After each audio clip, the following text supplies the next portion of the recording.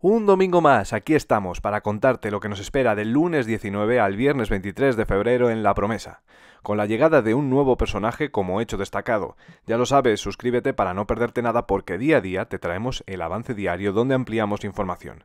Esta semana veremos cómo Hannah se encuentra en un dilema emocional debido a lo que Manuel le reveló sobre Abel, sembrando la duda de haber sido engañada por el médico. Curro en su proceso de recuperación y Hannah fortalecen su relación fraternal, compartiendo sus preocupaciones y remordimientos, especialmente por el fallecimiento de Feliciano. Alonso, con la ayuda de Rómulo, intensifica su investigación sobre el misterioso accidente de caza, desafiando a Cruz, quien teme que la verdad salga a la luz. Alonso tiene un plan para tratar de esclarecer quién intentó matar a Curro, pero mientras necesita asegurarse de que el muchacho está salvo. Por ello, ordena su aislamiento, quedando al cuidado de Abel y de Hannah.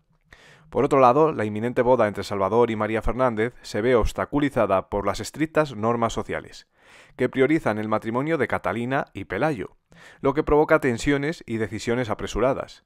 Simona y su hija Virtudes navegan por el delicado proceso de acercamiento, complicado aún más por los secretos familiares, especialmente sobre Antoñito, el hijo de la cocinera.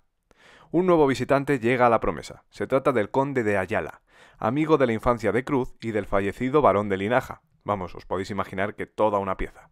Su altanería y sarcasmo no son muy bien recibidos en el palacio, mientras que el negocio entre Jerónimo y Pelayo con Mr. Cavendish se ve amenazado por los preparativos de la boda de Pelayo con Catalina. En medio de estos conflictos, Manuel solo desea compartir su éxito y alegría con Hannah cuando vuelve vencedor de la competición de aviación, quedando finalista. Ha conseguido imponerse a su madre y está más cerca de sus sueños.